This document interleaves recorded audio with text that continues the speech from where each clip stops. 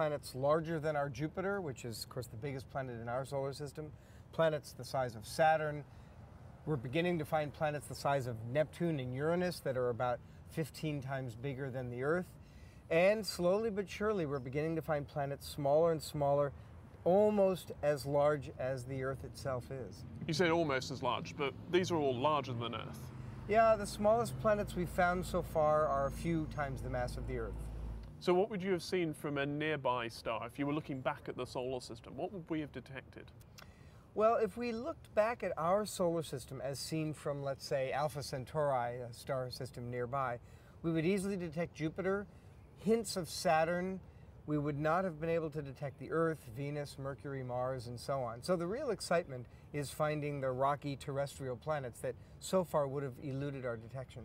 Can we point to a, a random star and, and say how likely it is that it has planets at all? I believe when you look up into the night sky and you see the twinkling lights, 15% of those stars have Jupiters like our own. Maybe another 10 or 15% have Saturns. The remaining stars, all, I suspect, almost all, have Earths, Venuses, Mars, rocky planets that remind us of the terrestrial planets here in the solar system. As Geoff and I talk, on Hawaii, the giant Keck telescope is being prepared for the night, ready to direct its 10 meter mirror in the search for rocky planets. Well, the interesting thing is that our Milky Way galaxy within which we live contains 200 billion stars. Certainly, we can't examine all of them for planets. So, what we do is we examine the stars that are closest to our Earth, the ones that you can see with your naked eye and a little bit farther away out to about 100 light years or so. And the reason we do this is that, frankly, we astronomers are starved for photons. We need the light to analyze that light and therefore, therefore discover the planets.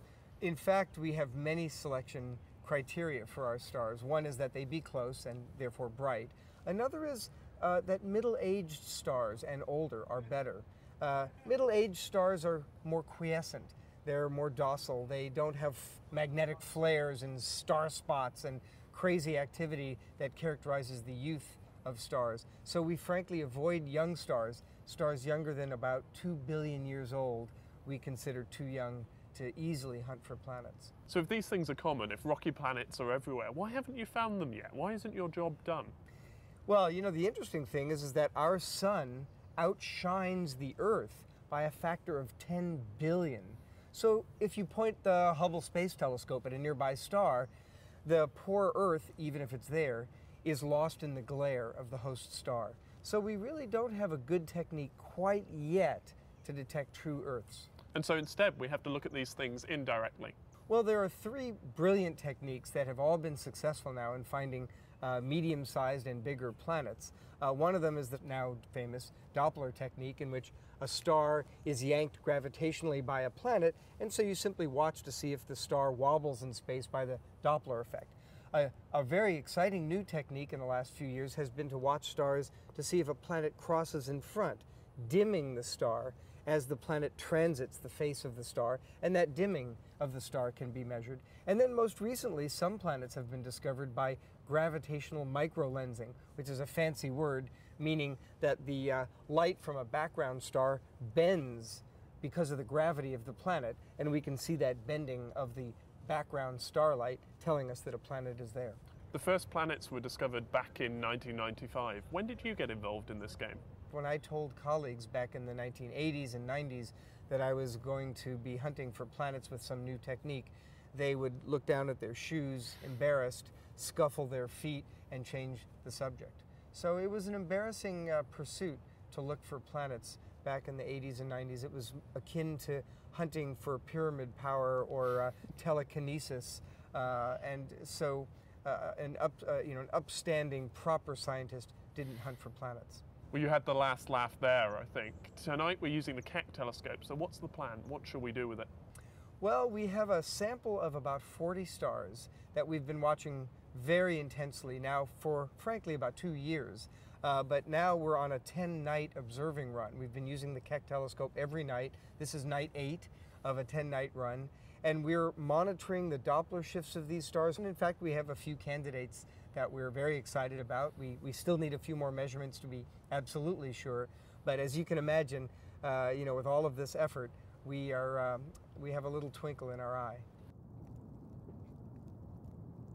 It's now dark in Hawaii.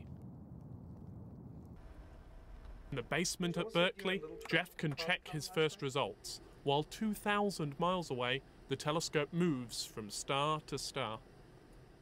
There we go. All right. This is the second hardest star of the night. That's really good. Mm-hmm. Okay, set to go. Great. There it It is. is. Yes. That looks good. Uh, this computer screen tells us the coordinates where the telescope is pointed. Uh, this computer screen tells us the data as it comes in. And what we do here at the back of the Keck telescope, instead of having an eyepiece, we get rid of the eyepiece and the light instead goes through into a spectrometer, spreading the light into its composite wavelengths or frequencies of light, and we store them digitally and then analyze those frequencies of light for the Doppler effect that allows us to find planets.